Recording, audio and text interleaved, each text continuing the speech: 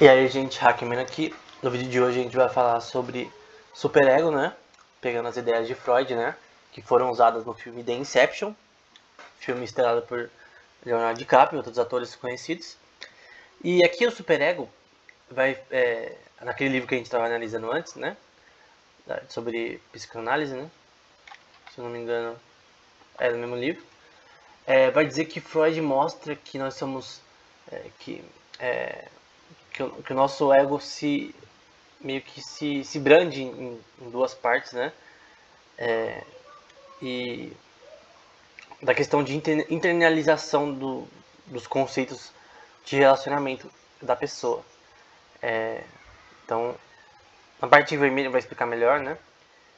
Que, que a, o superego ele pode meio que pegar um objeto amado, né?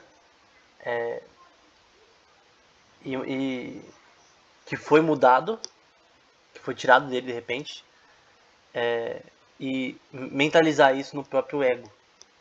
Então, se pegar um objeto que, um, sei lá, seja um objeto, seja uma pessoa, algum objeto que você gosta, né?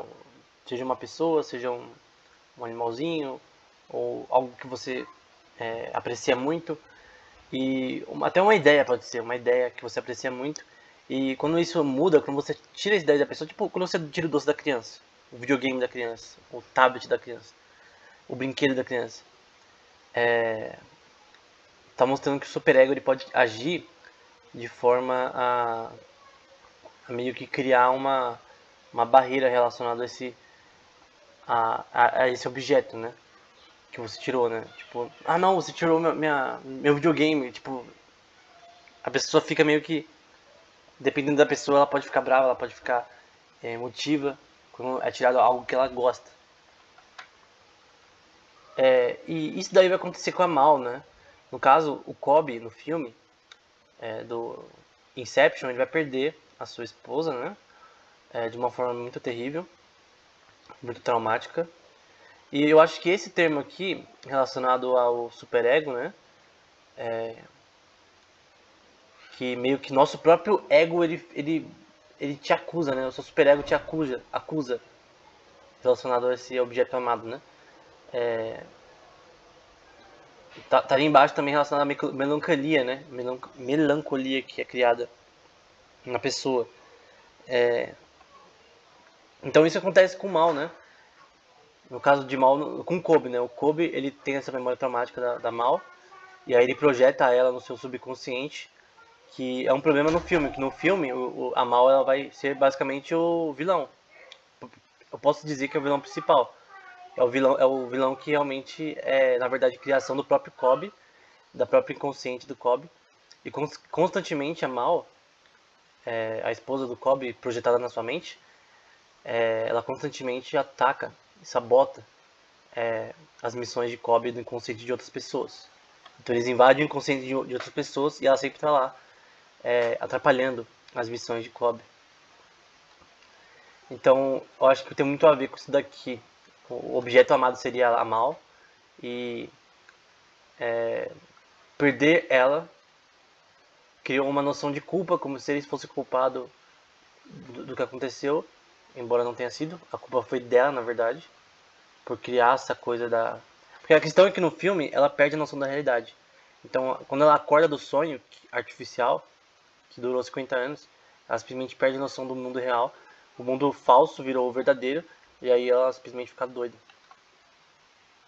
Eu, eu acho que nem é doida, ela fica meio que sem, sem direção, né? Porque ela não sabe se o que ela tá acontecendo ali é, é verdade ou não, se é real ou não. Então ela perde a noção do, da realidade.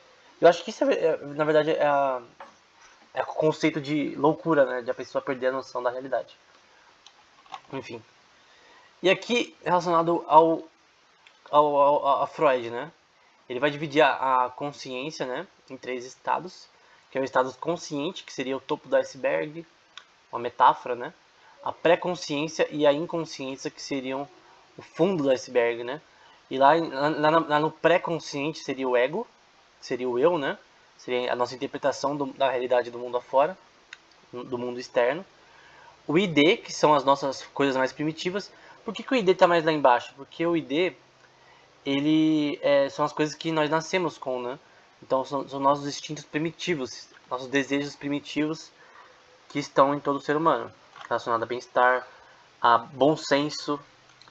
Ninguém aqui quer bater nos outros simplesmente porque é, é bom senso, que eu não devo bater nos outros e que eu não gosto que as pessoas me batam em mim.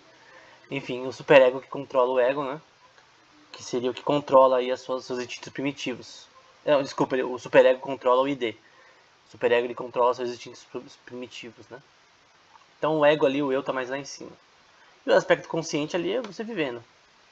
Então você vivendo ali é a parte lá do solzinho, tudo de boa. Mas ali, lá embaixo da água, lá no fundo, tem o nosso pré-consciente, nossos conceitos primitivos relacionados à natureza humana, aos desejos primitivos humanos e a, o controle dele, que é feito pelo superego. E é legal que o superego é, ocupa uma parte nessa imagem, não sei se foi proposital, mas o superego controla uma parte maior na imagem porque realmente ele controla nossos instintos. Então o inconsciente ele seria a parte mais profunda do ID e do, do superego. E uma imagem um pouco mais bem feita, né? É, com o ego ali em cima, né? Que executa os é, impulsos do superego. É, não, os, os expulsos do ID, o ego no caso, né? O ego, ele... A sua interpretação do mundo, ela pega como input, né? Impulsos é, da sua, das suas ações primitivas, né? Então a forma que, como você interpreta o mundo tem muito a ver com o nosso bom senso humano. Eu acho que o, o ID tem muito a ver com o bom senso, com as nossas é, as coisas que todo mundo sabe sem ninguém precisar falar, né? Do, do, certo e errado, né? Com o tempo a gente desenvolve essa questão do certo e, erra, certo e errado. E porque o certo e errado ele, ele não é relativo? Ele tem uma coisa primária. Porque simplesmente é, o certo e errado ele é meio que internalizado em nós, né, na nossa mente, como se tivesse um código relacionado ao que é certo e errado já na nossa mente quando nós nascemos, que seria o ID, que seria também seria os desejos principais relacionados a, a, a ao ser humano também, de fome, é, sede, sono, enfim, tudo relacionado ao ser humano. O superego ele meio que luta pela perfeição, né? Pelos ideais morais. Ele seria a parte ética do, do da mente que tenta é, se tornar a, a, a, consciência da pessoa. E ela, e ela opera no estado do pré-consciente. Então o superego, como eu disse antes, ela controla o ID e o ego. O superego ele é o acima de eu, né? Seria é, meio que os seus ideais morais que fazem quem você é, né? Mas esses ideais morais podem mudar com o tempo, tá? Mas esses ideais morais são baseados no, no ID. Então, seus ideais morais, a forma como você pensa sobre o mundo é muito baseada no ID, que é, todo mundo tem. Só que, pode, só que tem uma parte também relacionada ao ego que pode mudar com o tempo. Então você pode sim é, meio que suprimir, por exemplo, mentira, mentira é errado pra caramba. Mas a pessoa suprime a mentira até que ela não é, ela não é uma coisa mais ruim. Quando eu digo suprimir, não quer dizer que ele não mente, é que ele mente, mente tanto que é, se transforma num hábito e sua mente começa a falar, não, isso aqui está certo.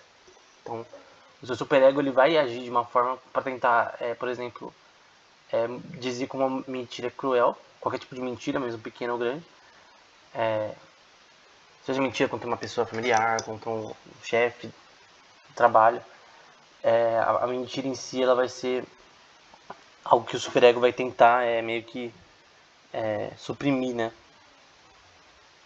Porque é imoral. Mentira é imoral, porque você está fazendo, na verdade, é como bater na, na, na, cara de uma pessoa, uma mentira, na minha opinião. Tá fazendo mal a uma pessoa às vezes. Enfim. Mesmo pelas melhores intenções. E aí vai estar mal a esposa de Cobb, né? Que a gente vai falar um pouco da distorção que ela teve na mente dela. E a distorção na mente de mal, ela é não relacionado ao superego, nem ao ID, é relacionado ao ego. Isso aqui é importante, porque a, a, o ego ele é relacionado a pegar os, a nossa realidade, o que está na as coisas que a gente vê, porque qual é a nossa realidade? Você está vivendo, você está vivendo, você está pensando sobre o ambiente que você vive. Você olha, você ouve, você toca nas coisas e aquilo vira a sua realidade. Então, Por que a gente olha pra cima e vê o sol e acha isso normal? Porque é uma coisa que todo mundo sabe, todo mundo conhece. Desde, desde pequeno você vê o sol, então não é uma coisa anormal. Então é. Nosso ego ele pega as coisas do mundo afora e tenta internalizar isso, tenta é, processar isso. Cada pessoa é, interpreta o mundo de uma forma individual.